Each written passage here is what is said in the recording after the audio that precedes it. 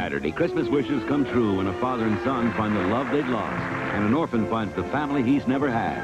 Merry Christmas! On the Love Boat. Then on Fantasy Island, Toni Tennille meets the mysterious man of her dreams Why won't you look at me? and comes face to face with horror. You see,